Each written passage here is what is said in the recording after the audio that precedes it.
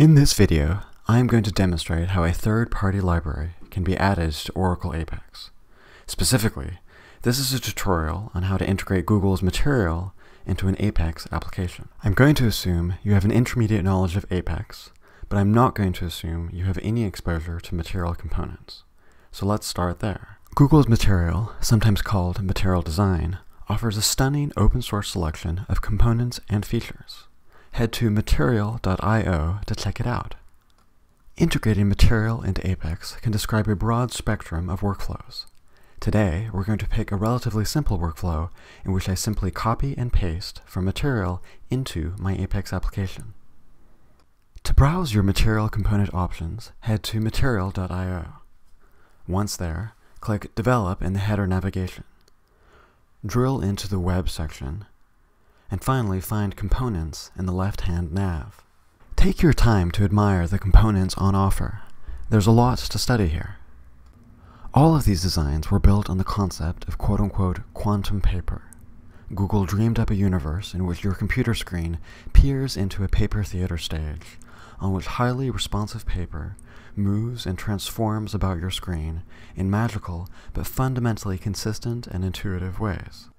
To see some easy and interactive demos of these components, find the GitHub link at the bottom of the page. Then, click into the material-components-web repository and find the demos link.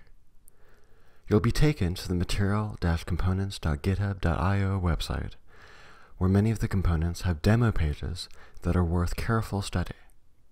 Let's take the card component by way of example, a small but rich illustration of Google's commitment to this quantum paper metaphor is the careful thought they have given to using color and shadow to communicate elevation in the narrow z-space of your screen. I propose we make use of this very card component in our tutorial because it has no clear substitute on the Apex side. If you want a card layout similar to this in Apex, you're going to have to write some HTML and CSS no matter how you go about it. The demo pages show off how different combinations of HTML elements and classes can produce very different results. The example HTML is helpfully seeded with some provisional classes that you can use to target with your own CSS this quote-unquote demo card class, for example. We will have to write our own CSS for these classes. Let's switch gears and prepare an Apex application to accept the material component HTML. For the benefit of those who want to follow along at home, I'm installing the sample database application from the sample app gallery. Once it's installed, let's navigate to the products page. I chose this sample app because it features images. We can combine these images with the material component card to create something that looks more like a blog or a commercial website. I'll start by copying this page to a new page. On my new page, I'm going to switch the interactive report to a classic report so that I can make use of the existing card theme architecture. I'll rename my field names in the SQL in anticipation of feeding them into my card template.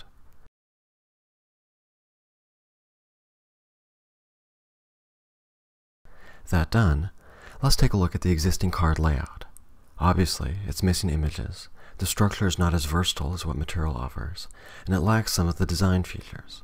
For example, the shading is uniformly spread around the edge of the cards in a way that doesn't convincingly communicate depth. Okay, with that, let's go ahead and begin adding material dependencies to our app. First, we need to add the necessary CSS and JavaScript file references. Material offers many ways to do this, but the simplest way is simply to reference their CDN. To find this, we navigate back to material.io, go to Develop, then Web, and click Getting Started. We can then simply copy and paste the links into the appropriate sections of our application attributes. In the User Interface tab, we paste the component web CSS in the Cascading Stylesheet file URLs area the component web JavaScript in the JavaScript file URLs area, and the material icons CSS also in the CSS area.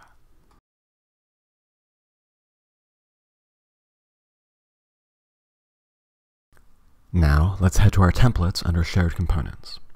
I find the card template that I'm currently using and copy it to a new custom template.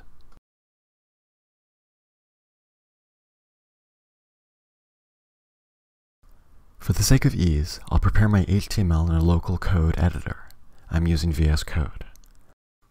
In a temporary file, I'll paste the HTML from the Material Components demo we saw earlier.